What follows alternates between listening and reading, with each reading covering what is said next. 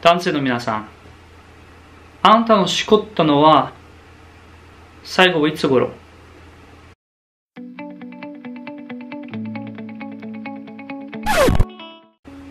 本日みの紹介したいのは、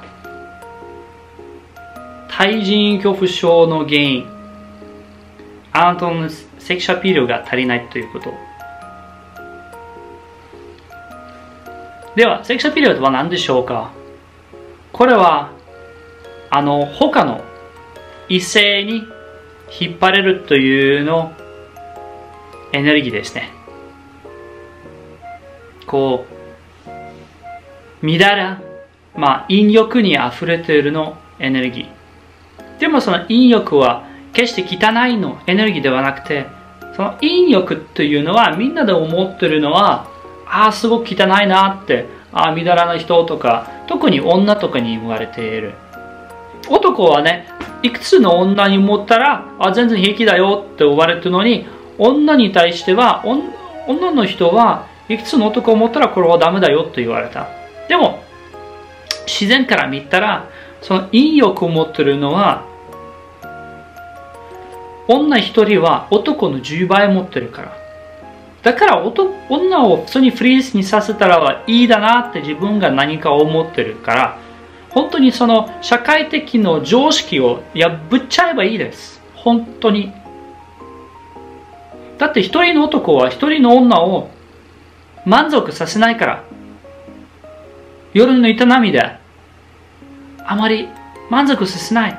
させないからこそ電話とかいろんなものを使ったりする。では、本日はちょっとお得向けのあの内容なんですけれども、女性の皆さん、もし、あのね、これはね、聞きたいならもう聞いてください。でもこれまあ、本当にお得向けだから、ちょっと言います。自分のしこり、つまり線ずりというのはね、線ずりのは、あまり良くないと言いたいわけです。どうして？そうだろうって。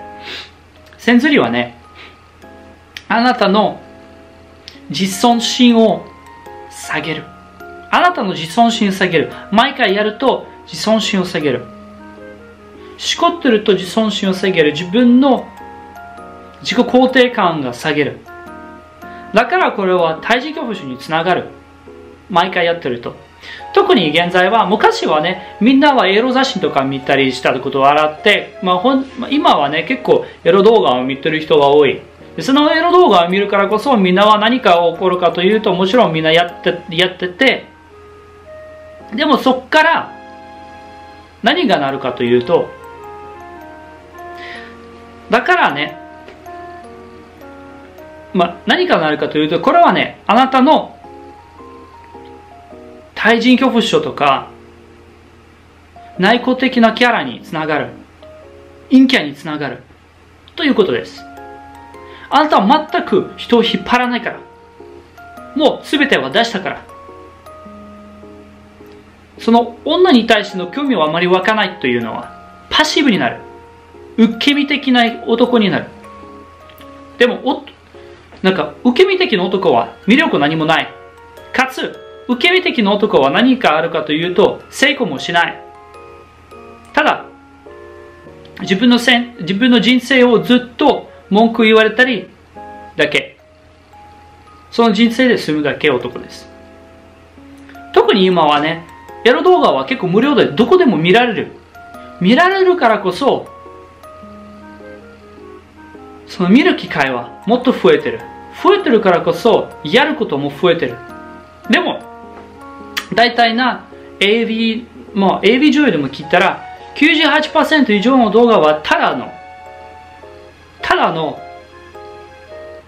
まあ、本当のエッチではなくて、真似だよ。本当にエッチの真似。振り落とするだけ。そうするからこそ、それ見るのも価値はない。では、どうやって自分のその自己啓自己啓発の知識を持って、そこから逃げるというのは、まあ、3つのステップなんですけども、最初のステップは、何かかすると、最初はまあトグル、TOGGR というのをアプリを使って毎回あなた、あ、今ちょっと緑な気持ちになった。あ、ちょっとね、しこ、しこったらいいなと思うというのはね、こぎこぎしたいというのは、まあ、こがないというのはポイントです。こがない代わりに書き込む。いつ、あ、この時期だな。あ、その前はこれだっただなって。これちゃんと意識化する。これしたら上で、次は何かかすると、次はね、2番目のなんですけれども、まあ、しこるというのはね、まあ、しこらずに頂点に迎えるの、いくつのものがある。例えば、瞑想で自分の体をね、その部分を触らずに頂点に迎える。これはね、ネット上で、あのね、何かかというとエネル、エネルギーのオーガズム、エネルギーのオーガズムもパンパンパンパン動画が出てくる。その、あの、そのビナその、そのオーガズムのビナルビーツがある。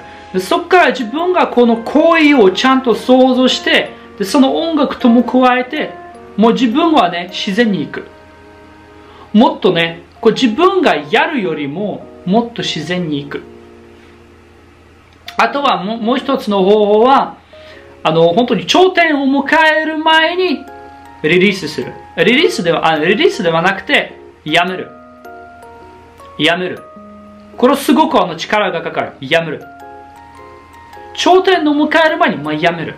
やめるからこそ、もう次に行く、もっと強くになる。もっと強くになる。だから、本当にちょ、まあ、頂点に迎えるではなくて、あくまでやめる。でも、もしあなたはね、このもう、まあ、本当に、頂点を迎えたいなら、この、ね、あの、瞑想的の頂点を迎えればいいです。でその3番目なんですけども、3番目は何かというと、3番目は JSOUL Brothers ではなくて、3番目は、もしあなたは、ね、これ、いつも H とか見たり、もの AB を見たり、もしあなたは、この後ではどんな気持ちがあるもちろん一番目でもね、どんな気持ちがあるね。あの、あなたは頭の中ですごくね、気持ち、いい気持ち持ってるかって、またはすごくね、あ、今やっちゃったっていうのはすごく自分の中で、あのね、恥ずかしいの気持ち。やるときには恥ずかしいか、気持ち、すごくプライドを持ってやってるかって、この後の気持ちちゃんとトラックニングしてください。で、もしあなたはもうなんか、もう手とかね、もう離さないというのは結構人もいらっしゃる。だから話すではなくて、だんだんそのね、やるセッションの数はだんだん減っていく。最初は、もちろん、もしあなたはもう毎日でね、何回やってるもその毎日に1回に減る。減らす。または、1週間に1回。または2週間に1回。1ヶ月に1回。3ヶ月に1回。1年に1回。まあ、などなどなど。で、そっからね、もう、もうだんだんなくなる。だんだんなくなる。なくなるからこそ、もっと楽しくなる。人生もっと楽しくなる。もっと人生が豊かになるわけです。だから、それやらなくてもいいだと思います。まあ、実際はね、やらなくてもいいだと思います。代わりに前に言ったのテクニックを使っていいと思います。では、リシェイプの皆さん、僕はどこからそのテクニックを持ったかというと、テクニックではなくて、もちろんこのね、あの、頂点とか迎えるではなくて、まあ、あくまでね、自己啓発のものは自分のこう力をもらったわけです。で、その情報や体験によって僕は現在、同じく対人恐怖症者の何百万人を助かるというのをミッションにしたわけです。そういうミッションにしたわけからこそ、まあ、最初はもしあなた対人恐怖症を抱いている人は、まあ、そこちらの動画を見てください。もしこれは、この動画も役に立つかもしれません。